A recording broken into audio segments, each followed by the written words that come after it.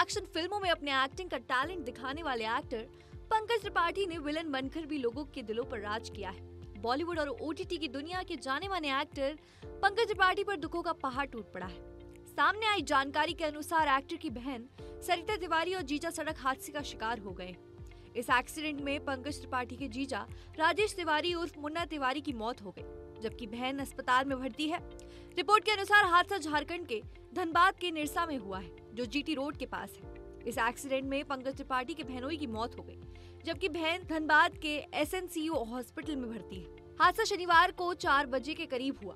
राजेश तिवारी को सरिता तिवारी बिहार के गोपालगंज के वेस्ट बंगाल के लिए जा रहे थे। निरसा मार्केट चौक पर पहुँचने से पहले ही उनका एक्सीडेंट हो गया। राजेश और सरिता की गाड़ी दूसरी गाड़ी से भिड़ गई, जिसमें एक्सीडेंट में कार डैमेज हो गई। पुलिस और स्थानीय लोगों की मदद से दोनों का धनबाद मेडिकल कॉलेज में एडमिट किया गया।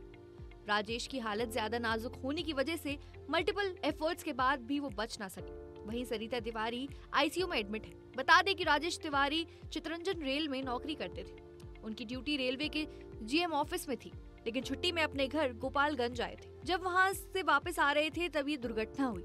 इस हादसे के बाद संभावना जताई गई है कि पंकज त्रिपाठी धनबाद जा सकते हैं। पंकज त्रिपाठी के वर्क फ्रेंड की बात करें तो हाल ही में उन्हें मर्डर मुबारक में देखा गया। इस मल्टी स्टार फ़िल्म है जिसे सारा अली खान, करिश्मा कपूर, संजय कपूर जैसे कलाकार हैं। इससे पहले जानकारी में उनकी फ़िल्म में अटल हूँ रिलीज़ हुई थी।